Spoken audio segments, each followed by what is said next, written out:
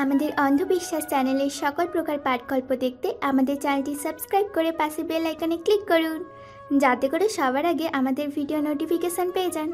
আর হ্যাঁ শেয়ার করতে ভুলবেন না। হাসছো কেন? রুহেল এক পা এক পা করে আরিফা রিজওয়ানের দিকে এগিয়ে যেতে লাগলেন। রুহেলের বিকৃত মস্তিষ্কে কী চলছে তা মুহূর্তেই বুঝে ফেললেন আরিফা রিজওয়ান।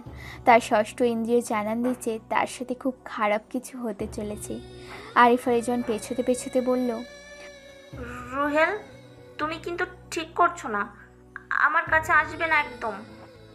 রুহেলের সেই নোংরা হাসি দিয়ে বলল এটা যদি ভুল হয় তাহলে বলিস হয় তোমাকে অনেক আগে থেকেই ভালো লাগতো আমার। কিন্তু আমার মনের কথা মনেই রয়ে গেল।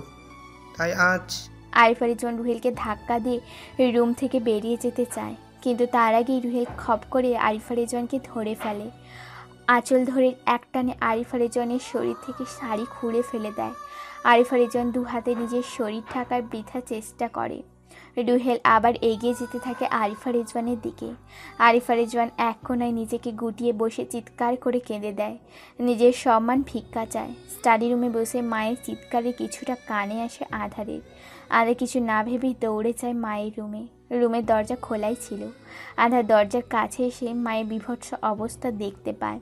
তার কানে বেজে ওঠে মায়ের কান্না, আত্মচিৎকার। রুহেল আরিফা রেজনের গায়ে হাত দিতে গেলে আরিফা রেজন শরীরের সর্বশক্তি দিয়ে রুহেলকে চর মারে। চর খেয়ে রুহেল রক্ত চক্ষু নিয়ে আরিফা রেজনের দিকে তাকায়। তারপর আরিফা রেজনের চুলের মুঠি টেনে ধরে সজরে দুটো চর মারে তার গালে। দেয়ালের সাথে বাড়ি লেগে কপাল ফেটে রক্ত বের হয়। ঠোঁট কেটেও রক্ত গড়িয়ে পড়ে। এই দৃশ্য দেখে আধারের রক্ত টকবক করে ওঠে। মাথায় আগুন জ্বলে ওঠে আধার দৌড়ে কিচেনে গিয়ে চপার নিয়ে আসে। এসে দেখে রুহেল আরিফা রেজানের সাথে জবরদস্তি করছে। তা দেখে রাগের বসে রুহেলের পিঠে চাপড় দিয়ে আঘাত করে আধার। রুহেল উঠে বসে আধারের দিকে ফিরতেই ওর গলায় চাপড় দিয়ে এক টান মারে। সাথে সাথে গলার শিরা কেটে রক্ত ছিটকে আধারের মুখে পড়ে। রুহেল গলা চেপে ধরে ছটপট করতে করতে মেঝেতে লুটিয়ে পড়ে।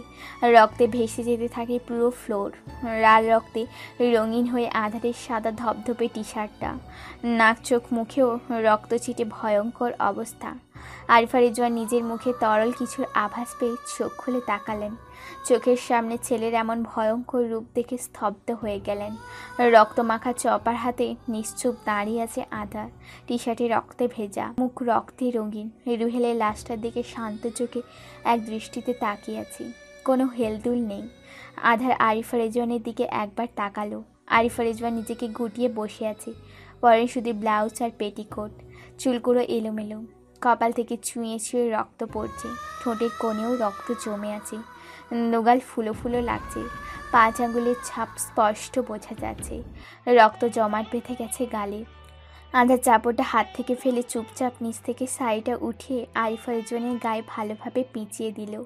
তারপর আস্তে করে জড়িয়ে ধরে আরিফা রেজনের বুকে মাথা রাখল। আরিফা রেজন ঠোঁট ভেঙে কান্না আসলো। আধাকে শক্ত করে বুকের সাথে জড়িয়ে ধরে হাউ মাউ করে খেঁদে দিলেন। কি থেকে কি হয়ে গেল? কি করবে উনি এখন? কীভাবে সব ঠিক করবেন? আরমা রিজন আজ তাড়াতাড়ি বাসায় ফিরেছেন। বউ বাচ্চা নিয়ে ঘুরতে যাবেন বলে ঠিক করেছেন। তখন ফোনে আরিফা রিজওয়ানকে এসব জানাননি সারপ্রাইজ দিবে বলে। আরমা রিজন খুশি মনে বাড়িতে ঢুকেন। মেন্ডোর খোলা দেখে কিছুটা অবাক হলেও পাত্তা দেন না। মনে মনে বলেন, ভুল করে খোলা রেখেছে মনে হয়। তারপর জোরে জোরে আরিফা রিজওয়ানকে ডাকতে লাগলেন, কিন্তু কোনো সারা শব্দ পাওয়া গেল না। আরমা রিজন ভীষণ অবাক হলেন। বাড়িতে কেউ নেই নাকি? কিন্তু মেন ডোর তো খোলা। আরমা রিজন আধারকে আর আরিফা রিজনকে আবারও ডাকতে লাগলেন, কিন্তু এবারও কারও কোনো টু শব্দ কানে এলো না। আরমা রিজন কিচেনে দেখে এবার উপরে চলে গেলেন। প্রথমে স্টাডি রুমে দেখলেন, তারপর আধারি রুমে। অতপর নিজের বেডরুমে গেল। বেডরুমের দরজায় পা রাখতেই থমকে গেলেন আরমার রেজওয়ান। বউ ছেলের এমন অবস্থা দেখে সে স্তব্ধ হয়ে গেছেন। আরিফা রেজনের বিভৎস অবস্থা দেখে বুকের কোথাও যন্ত্রণা শুরু হলো। সামনের লাশটার চেহারা দেখে চমকে গেলেন। রুহেল ওনার মস্তিষ্ক শূন্য হয়ে গেছে। ঠিক কীরকম রিয়েক্ট করা উচিত বুঝে উঠতে পারছেন না। আরমা রিজন ধীর পায়ে হেঁটে আরিফা রেজওয়ানের দিকে এগিয়ে যায়। হাঁটু গেড়ে নিচে বসে আরিফা রেজওয়ানের কাঁধে আস্তে করে হাত রাখলেন। আরিফা রেজন চমকে তাকালেন। আধার বাবাকে দেখে সরে বসল পাশে। আরমা রেজওয়ানকে দেখে আরিফা রেজওয়ানের সাথে সাথে হামলে পড়লেন তার বুকে। কাঁদতে কাঁদতে বললেন এটা কি হলো আরমান? কেন হলো? আমার রোদ এসব ইচ্ছে করে করেনি আরমান। ও বুঝতে পারেনি। আমার রোদের কোনো দোষ নেই। সব দোষ আমার সব দোষ আমার। বলতে বলতে কান্নায় ভেঙে পড়ে আরিফা রেজওয়ান আরমা রেজওয়ান তাকে শান্ত করার চেষ্টা করে। তারপর বলে কি হয়েছে আমাকে বলো? রুহেলকে কি রোদ মেরেছে? সব খুলে বলো আমাকে। আরিফা রেজন শুরু থেকে সব বলল আরমান রেজওয়ানকে।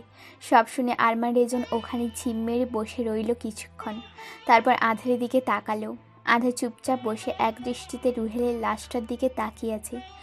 রেজন টনক নড়ল সে আতঙ্কিত গলায় পড়ল আরিফা উঠো জলদি। আমাদের এগুলো পরিষ্কার করে লাশটাকে তাড়াতাড়ি সরাতে হবে। আমাদের ছেলেকে আমাদের বাঁচাতে হবে। আরিফা রেজন সাই দিয়ে বললেন এ, হ্যাঁ আরমান তুমি ঠিক বলেছ। আমার রোদকে বাঁচাতে হবে। আরমান রেজন আর আরিফা রেজন মিলে লুহের লাশটা বড় ব্যাগে ভরে গাড়ি করে সমুদ্রে নিয়ে ফেলে দিল। তারপর বাড়ি এসে পুরো রুম ডিটারজেন্ট দিয়ে ধুয়ে পরিষ্কার করল। আধারকে গোসল করিয়ে নিজেও ভালো করে গোসল করে নিল। আধার এমনি চুপচাপ স্বভাবে। এই ঘটনার পর আধার আরও চুপচাপ হয়ে গেল। সারাদিন একা বসে আর মনে কী সব যেন ভাবতে থাকে। ওনারা বুঝলেন, ওই ঘটনাটা আধারের মনে খুব গাঢ়ভাবে দাগ কেটেছে।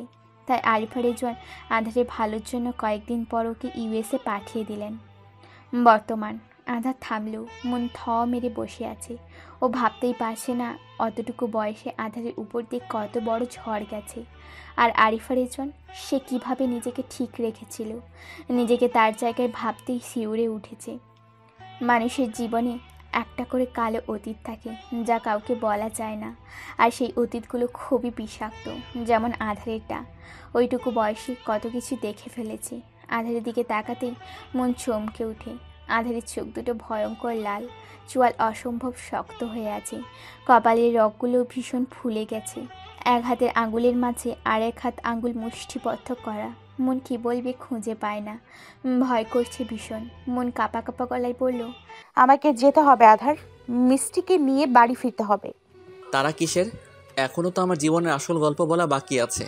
সাধারণ আধার রেজওয়ান থেকে এয়ার হওয়ার গল্প? বাইরে ছুম বৃষ্টি পড়ছে। টুপটাপ বৃষ্টির ফোঁটার শব্দ ভেসে আসছে কানে। গাছপালাগুলো হাওয়ার বেগে এদিকে পড়ছে, আবার ওদিকে দুলে পড়ছে। পরিবেশ একদম ঠান্ডা। আধা ক্লান্ত নয়নে জানালার বাইরে তাকিয়ে আছে আর মন আধারের দিকে এক ধানে তাকিয়ে আছে। অনেক বছর পর আবার এই মুখটা দেখছে বলে কথা। কত পিপাসা জমেছিল মনে শুধুমাত্র এই চেহারাটা দেখার জন্য। আজ ভালো করে দেখে নিজের তৃষ্ণা মেটাচ্ছে। একটু অন্যরকম লাগছে। খোঁচা খোঁচা দাড়ির কারণে আগে থেকে অনেক বেশি সুদর্শন লাগছে। কাটা ভ্রুর নিচে তিল অতল সমুদ্রের মতো, গভীর নীলাবা দুটি চোখ, মেলি রক্ত জবার মতো ঠোঁট, আর ঠোঁটের ঠিক নিচে কালো কুচকুচে ছোট্ট একটা তিল। ইস, ছেলেদের ঠোঁটের নিচে তিল থাকাটা বড্ড বেমানান লাগছে মনের কাছে। ফর্সাকালে খোঁচা খোঁচা চাপা দাড়ি, ডার্ক ব্রাউন চুলগুলো জেল করে পেছনে ঠেলে দেওয়া হলেও কিছু অবাধ্য চুল কপালে পড়ে আছে। চেহারায় ফরেনার ফরেনার একটা ভাব আছে। শার্টের উপরে দুটো বোতাম খোলা থাকায় কালো শার্টের ভেতর থেকে লোমহীন ফর্সা চাওড়া বুকটা উঁকি দিচ্ছে।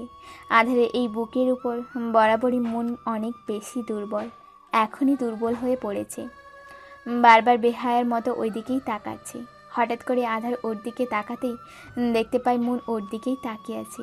মন তাড়াতাড়ি চোখ সরিয়ে অন্যদিকে তাকায়। আধার সরু চোখে মনের দিকে কিছুক্ষণ তাকিয়ে থাকে। মন আর চোখে তাকাতেই আধারের সাথে চোখাচোখি হয়ে যায়। আধা তাদেরকে দুষ্টু স্বরে বলে ওঠে লুকিয়ে লুকিয়ে দেখার কি আছে? সামনাসামনি দেখতে কে নিষেধ করেছে? সব তো তোমারই। বলেই চোখ টিপলো আধার। মনে কিছুটা লজ্জা লাগল। তাই লজ্জাটাকে ঢাকতে রাগ দেখিয়ে বলল আপনি দেখছি দিন দিন অসভ্য হয়ে যাচ্ছেন। ফালতু সময় নষ্ট না করে কিছু বলার থাকলে বলুন। আর না হলে আমাকে যেতে দিন। মিষ্টিকে নিয়ে বাড়ি ফিরতে হবে তাড়াতাড়ি। রাত অপেক্ষা করছে আমার জন্য। আধারের রাগ লাগল এই কথাটায়। মন ওর বউ। তাহলে ওর বউয়ের জন্য বাইরের একটা ছেলে কেন অপেক্ষা করবে? আর মন বা নিজের স্বামীকে ছেড়ে অন্য একজনের কাছে কেনই যাবে? হোয়াই হোয়াট তুমি নিজের হাজবেন্ডের চিন্তা না করে অন্য একটা পুরুষের চিন্তা করছ? আমি এর জন্য তোমাকে পারমিশন দেইনি। মন বিরক্তির স্বরে বলল, আধার অবুজের মতো কথা বলবেন না। হি ইজ ইনজির্ড হাতে গুলি লেগেছে ওর। ও একা কিছু করতে পারবে না। আরেকজনের হেল্প লাগে। আপনি একজন ডক্টর হয়ে এরকম বিহেভ কি করে করতে পারেন? আমার তো এখন আপনার ডক্টর হওয়ার উপর ডাউট হচ্ছে। শেষের কথাটা বলে সন্ধিহান চোখে তাকালো আধারের দিকে। মন রুদ্ধ স্বরে বলল, বলে আপনি বলবেন নাকি? আচ্ছা বলছি। লম্বা একটা নিঃশ্বাস নিয়ে বলতে শুরু করল অতীত। রুষা সেদিন না বলে চলে যাওয়ার পর আধার ভেঙে পড়েছিল। কেমন যেন একদম নীরব হয়ে গিয়েছিল। সারাদিন রুমে দরজা বন্ধ করে বসে থাকতো। কারোর সাথে মিশতো না, কথা বলতো না। খাওয়া দাওয়া অফ করে দিয়েছিল। কেউ ওকে খাওয়াতে পারেনি। এমন অবস্থা একমাত্র আরুষের জোর করে ওর কাছে ছিল, পাশে ছিল। আরুষ ছাড়া কাউকেই আধার রুমে ঢুকতে দিত না। দেখতে দেখতে তিন মাস এভাবে চলে যায়। দিন দিন আধারে অবস্থা খারাপ হতে লাগল। আরিফা রেজন, আরমার রেজন চিন্তায় পাগল প্রায়। তখনই সে বুদ্ধি দিল, আধারকে এখান থেকে দূরে নিয়ে যেতে হবে। এখানে থাকলে আরও ভেঙে পড়বে। সবাই ওকে সায় দিল। কিছুদিনের মধ্যে ওরা আবারও ইউএস ব্যাক করল। সবাই আধারকে মাতিয়ে রাখতে শুরু করল। আরে কোথায় যান? একটা লাইক তো দিয়ে যান। আপনাদের একটা লাইক আমাদের ভিডিও বানাতে উৎসাহিত করে। প্লিজ সবাই লাইক কমেন্ট করে জানাবেন গল্পটি কেমন লেগেছে। ধন্যবাদ।